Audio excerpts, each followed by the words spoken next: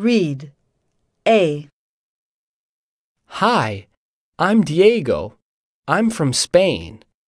In the morning, I eat some fruit or my mom makes churros. Churros are like donuts, and I eat them with hot chocolate. For lunch, we usually have tortilla de patatas. That is an omelet with potatoes. It's delicious. For dinner, we often have paella. That's rice with vegetables and fish or meat. My favorite is with seafood. I also like having dinner at a tapas bar. Tapas are lots of different kinds of small dishes, so you can try lots of different things. Hello, my name's Tanya, and I'm from the USA.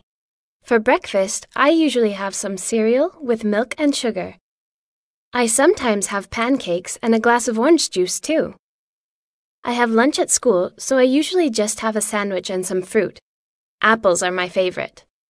For dinner, I often have some spaghetti with tomato sauce, or sometimes a steak.